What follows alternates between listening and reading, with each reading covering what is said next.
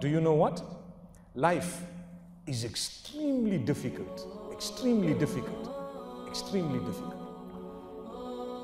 When you were born, you came to this world. This world is full of obstacles and tests. It is a testing ground. It's like a school. Every week you have an examination at the school. Every week you have a test. Every day some people have tests. If you go to a top private school, they will test you every day what you did yesterday. So this is the best The dunya, Allah is going to test you one after the other. Every day you will be tested what you did, the, what you learned the previous day or earlier in that day, or what you know. Allah will test you. Allah says, وَلَنَبْلُوَنَّكُمْ Surah Al-Baqarah. I'm sure you've heard this verse. I just said one word. You know, Arabic language, a lot of you might understand a little bit. But when Allah says, نَبْلُوكُمْ, it means we will test you. And when He says, لَنَبْلُوَنَّكُمْ, He is emphasizing it so strongly. We will definitely, definitely, definitely test every single one of you. It's going to be test after test after test. That's why you are on earth. Everyone seated here, including myself, we have issues we need to deal with. You have issues. Health issues we've all struggled with. Whether it's a cough, no matter what it is, we've all struggled with. Health issues. Nobody here can say, I've never had a health issue since I was born up to today. Go and ask your mother. Maybe when you were uh, little, you were a colic child. Maybe you used to scream. Subhanallah. This is the plan of Allah. Why? Because Allah wants to test you. What are you going to do? Some of us, when we are tested, we get angry. Some of us, when we are tested, we get depressed. Allah says, no. There's no point in getting depressed, no point in getting angry. We could not all go to top schools. Agreed? We could not all get certain qualifications that we might have wanted. We had to fit in somewhere sometimes, either because we didn't do that well. Not everyone's brain is exactly the same in capacity. Allah created you. You are good at something. What is it? It might be different from what I am good at. But Allah did not leave you just like that. There is something that He gave you. Sometimes you don't realize what He's given you. He has bestowed upon you some gift that others perhaps don't have to your level. Some people are very intelligent. Some people are good with their hands. Some people good at mathematics. Some people love biology, geography. Some people are very good at administration. Some people are good as teachers. Some people are good as, for example, computer specialists. Some people are good at sitting and watching. So they are guards. Subhanallah. Alhamdulillah, I see you are smiling. I didn't say lazy. I said good at sitting and watching. MashaAllah. May Allah subhanahu wa ta'ala help us. You still can have a job. You still can have a job and you still can go. And how much will you earn? Let me inform you. At the beginning, I said, man is such, he can adapt. That's Allah's gift to you. You can adapt. The man who earns 50,000 Qatar riyals a month and another who earns 500 Qatar riyals a month, trust me, they are eating. Trust me, they are surviving. They get used to it.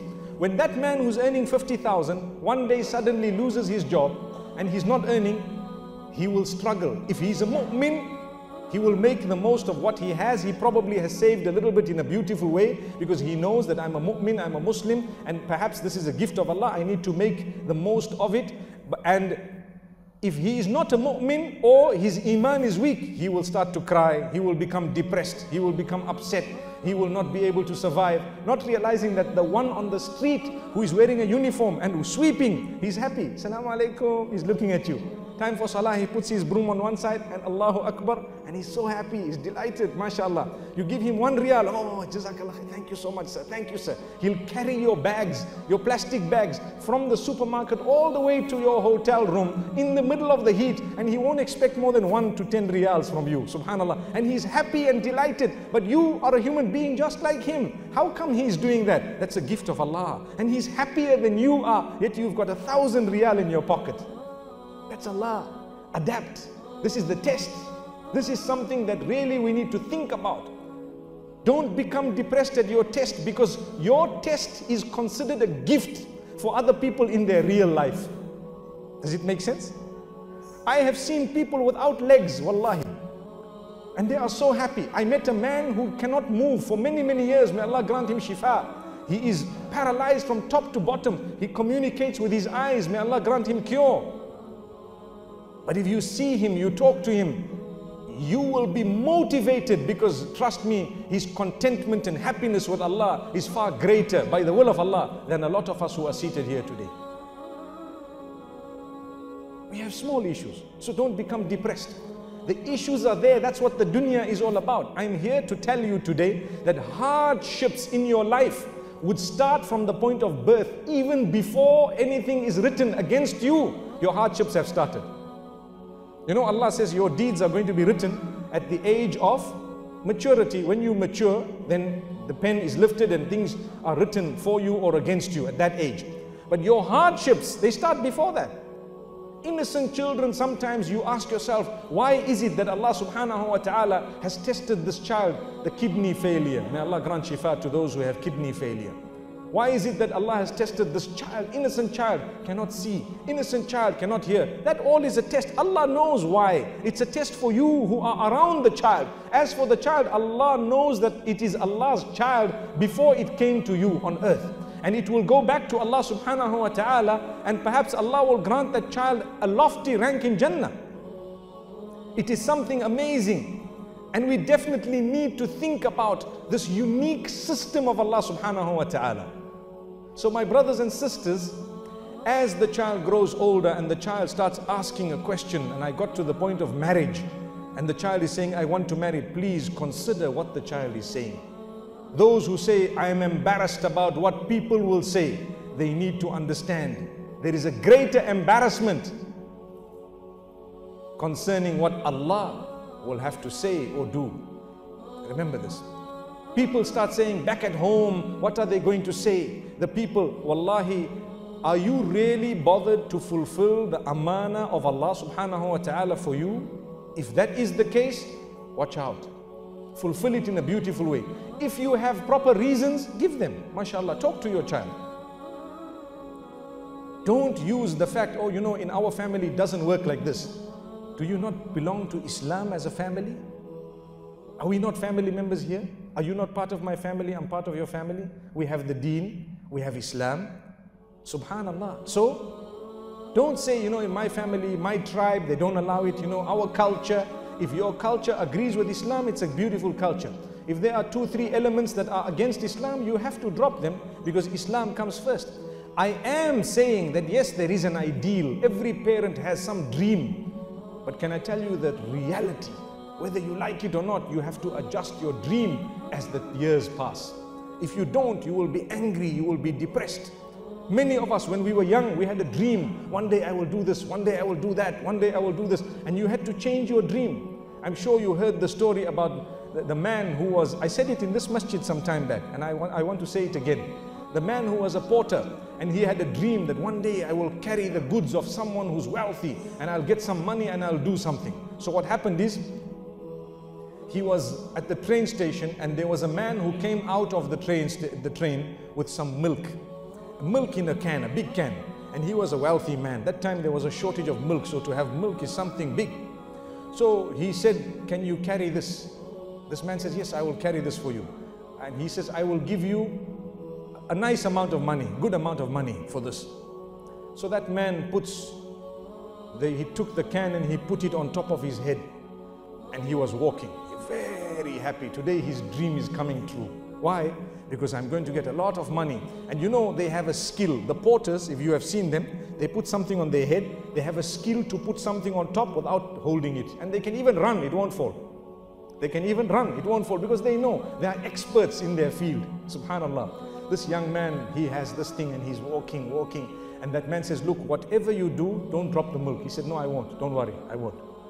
So he's walking. And as he's walking, he's thinking to, my, to himself, I'm going to get, say for example, $100 from this man, or $10, whatever it was. I will buy two chickens.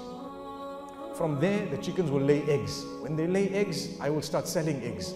Then I will buy more chickens. Before I know it, I'm going to have a fowl run. And I will have many chickens, they will lay eggs, and I will also start selling the chickens themselves. So I will be now be a person who sells chickens and eggs. And after some time, I will buy some sheep.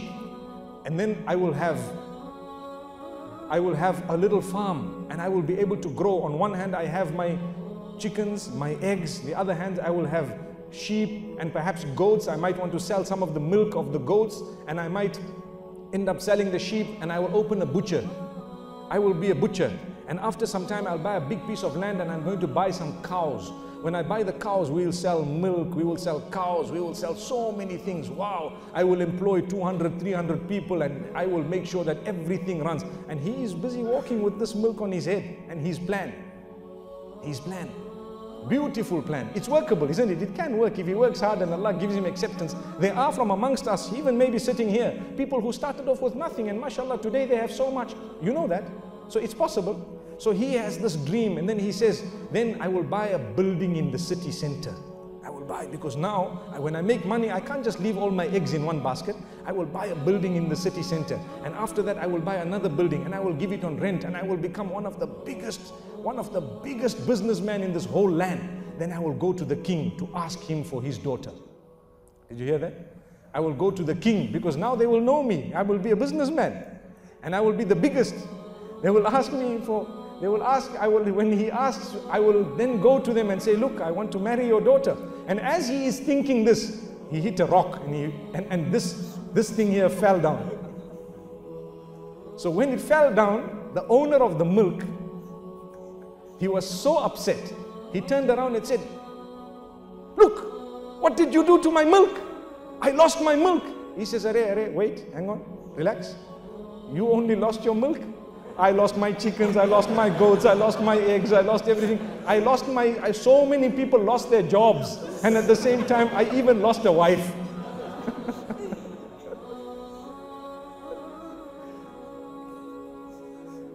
the point I'm raising is you have to adjust your dreams. Because you have a dream. It's not wrong to dream. Dream, please dream. But remember, it's Allah's plan. You will have to adjust. We have idea, oh, I have, I have daughters Inshallah, I will get them uh, grow, uh, you know, they, they, will grow up, mashallah, under me. I will teach them. They will become hafidah of the Quran. They will this. Everyone has a dream. I want my child to become imam of the masjid, to learn Islam, to spread the deen. Everyone has a good dream. I want my child to do this, to do that. You know what? And then you say, I want my child to marry someone, inshallah, who's a really good person, and inshallah, they will have children, I will have grandchildren one day by the will of Allah, and whatever, whatever. It's exactly like this man who had his dreams with his you know, can of milk at the top. If anything happens to that can, trust me, you have to adjust your dreams. But Allah will give you something not very far off. If you aim very high with your children, inshallah, at least you will get halfway there. But if you have no aim, where are you going to go? You have no aim. So I have met young people, I want to memorize the Quran. I want to memorize the Quran. Give me some advice. Memorizing the Quran is not easy. Yes, it's good that you have the, the intention. Start today. You might not finish everything and you might find it difficult. How many children started hifz and then after a little while they gave up, they found it very difficult. At least they have a link with the Quran. At least now you can read the Quran looking inside properly. Some parents, they say, I want my child to be hafiz. They push the child, they force the child, they have a problem with the child, they start fighting with the child, and the child goes in and the child starts learning Quran and they me memorize one juz and then they give up after a big fight. You don't realize that while I was trying to make my child a full hafiz, at least now they can read the Quran very beautifully looking inside. That's a bonus. That's a bonus. Have you thought of it? But if you didn't even plan that, they wouldn't even have achieved this much. So life is filled with hardship, one after the other, tests. You have to adjust your dreams. You have to, one day you will have a lot of wealth. The next day you will struggle because you will suffer a loss. You have to suffer a loss. It's Allah's promise. Because that verse that I was reading in Surah Al-Baqarah where Allah says, وَلَنَبْلُوَنَّكُمْ You know what He speaks about in there? بِشَيْءٍ مِّنَ الْخَوْفِ I will definitely test you. Some days you will be inflicted with fear, khawf. Fear of what? All types of fear. You are scared. Look at the people in some of the lands around us. May Allah protect our lands. May Allah grant them ease and goodness. Innocent people, they were living. They had nothing. Nothing was happening. They weren't interfering with anybody. They had to run away. Their homes were destroyed. Everything happened. They found to be refugees all across the globe. What happened to them? Take a lesson. We are concerned. We want to see solution. We are Muslimin. We want a stop to all the fighting and killing. That's how it's supposed to be. That's what we make dua for. Sometimes there is confusion. We don't even understand what's going on. That's how much confusion there is. But the lesson to learn is those people, a lot of them had more comfortable lives than you have today. Do you realize that? What happened? Allah says, We tested them. We tested them. They adapted. They went. They came. Those people who were living, who in air condition. Those people who had beautiful beddings, they were found later on to be in camps of refugees where they don't even have a blanket. But they got used to it. Allah gifted them by allowing their bodies to adjust, by allowing their system to adjust. You have to adjust. If you don't, you get depressed. You become sick. You suffer a sickness, a mental disease because you did not adjust. You have to adjust. When you lost your job or your salary went down or they were retrenching people and you had to go, for example, don't be depressed. Make the most of what you have. Some of the people who are the healthiest and wealthiest are from among those who one day they suffered a dip and then they came up. They suffered a dip and then they came up.